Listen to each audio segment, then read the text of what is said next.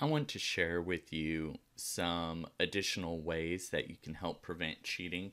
One thing I like to do is use the old um, assessment tool with quizzes, and I'm going to show you what I do with that test.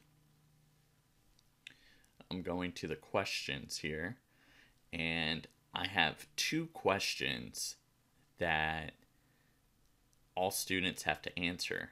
But then right here, you'll notice it says random question set. And these are questions 3 through 60.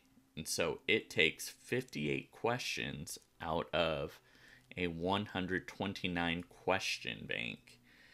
And so essentially, each student that takes this test will have a different test, which really helps curb uh, the cheating because even if they look on each other's screens, there's a high likelihood that they're going to have different tests. And sometimes I'll make the question pools smaller. For example, typically I'll have about 130, 150 questions in a question bank, and I'll pool about 30.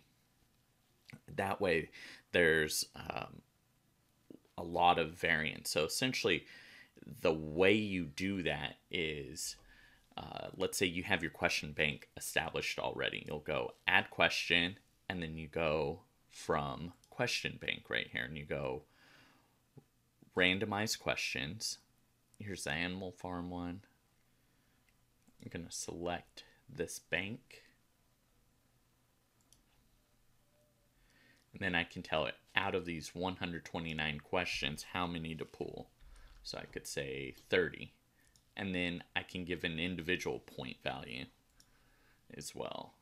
You don't have to, it'll default to one unless you want more.